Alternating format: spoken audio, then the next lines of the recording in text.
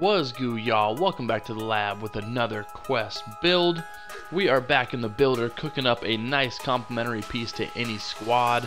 Wanted to cook something that could space the floor, make some nice plays, shoot the pill, but be an absolute monstrosity on the defensive end. I wanted to really make this a defensive minded juggernaut that can focus on that side of the floor but just be a nice complementary piece offensively so you don't need the ball in your hands to be effective on this build. This would be great playing solo dolo, playing with some randos at the rec, or bringing this out to the city and just cooking up some bacon on the skillet. This thing right here has shades of James Posey, Trenton Hassell, and Rashard Lewis. This is the 6 foot 10 3 and D wing. I've seen some other variations of this build at 6'7", 6'8", even 6'9", but the 6'10 version at the small forward spot can guard 1 through 5. Like I said, and I keep emphasizing, be a great complementary piece on both ends of the floor. This can be a defensive juggernaut that can anchor a squad and guard the opponent's best players. And being 6'10, you're going to be menacing and intimidating right when you step in front of your opponent. So let's jump right in. You're going to make this at small forward to get that wing name, obviously.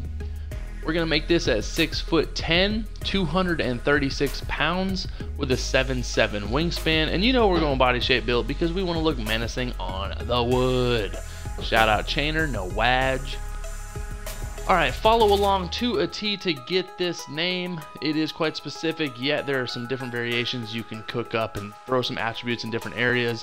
Again, it's your build, do whatever you want, but this blueprint is going to end up with the 3 and D wing name at 610 and then tinker at your own discretion in your builder. But we are going to make our close shot to a 76.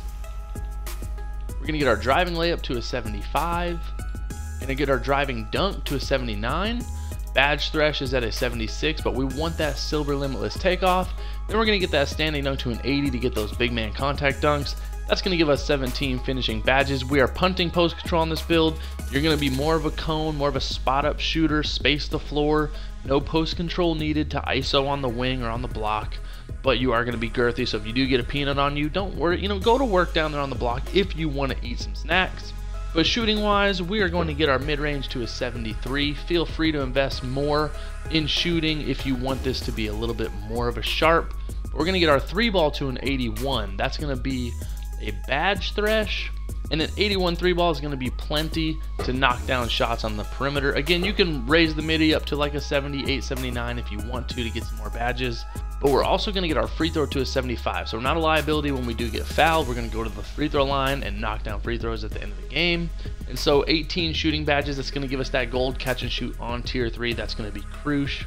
But then playmaking, this build's very well rounded. We're going to get that pass accuracy to a 79. You can go higher. Some of the other badge threshes, I believe they're 82 and 85. So you can make this more of a playmaking 3 and D wing. If you do go 86 pass accuracy, you can turn this into a two-way diming three-point shooter. Also extremely hot. Might make another rendition with this blueprint with that name in another video. But feel free to tinker. Don't go over an 85 if you want that 3 and D wing name. But we are going to get our ball handle to a 79 as well, and then our speed with ball to a 67. That's going to give us 18 playmaking badges. Again, we're going to be able to get that gold tier 3 badge, that post playmaker. But realistically, this build is just going to be well rounded and be able to make some plays. But you definitely can throw more on pass accuracy to get two more badges with this name.